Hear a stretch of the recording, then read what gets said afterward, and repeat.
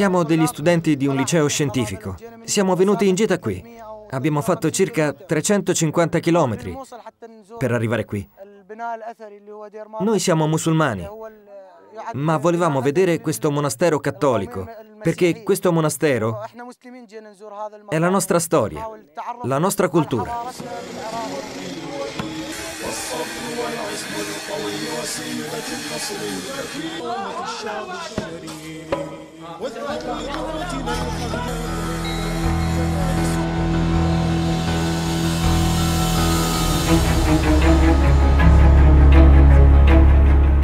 Negli ultimi anni la pratica da parte del fondamentalismo islamico di attaccare e distruggere le opere d'arte considerate sacrileghe si è fatta sempre più frequente.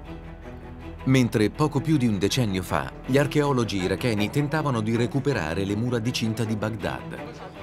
Sono immagini che sembrano appartenere a un'epoca lontana rispetto a quanto sta succedendo oggi.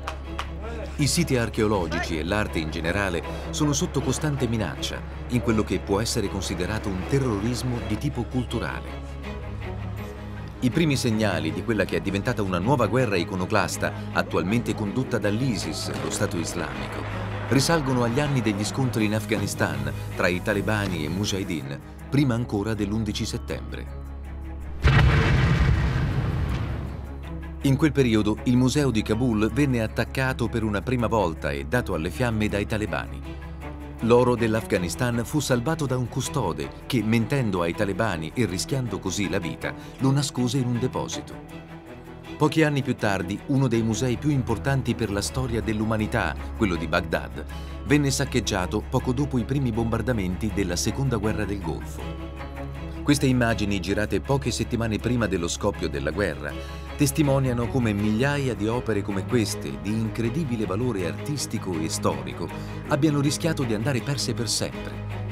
Moltissime hanno subito dei danneggiamenti non a causa delle bombe, ma delle tante predazioni.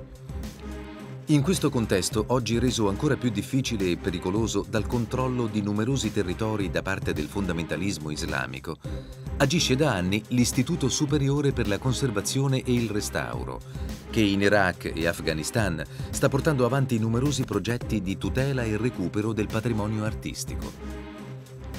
In Afghanistan, attraverso il restauro di molti pezzi del Museo di Kabul, oltre alla presenza in numerosi siti archeologici con dei progetti che non sono solo di recupero, ma anche di formazione per i restauratori locali.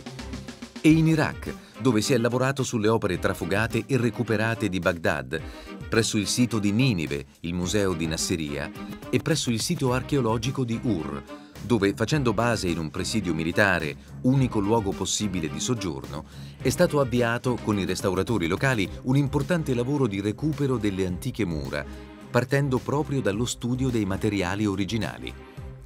Quella portata avanti dai nostri restauratori è un'opera di resistenza a questa assurda guerra dichiarata all'arte e alla cultura, non solo di un popolo, ma collettiva, che, come testimonia la scritta issata all'ingresso del Museo di Kabul, è di vitale importanza per l'identità e la memoria di tutti noi.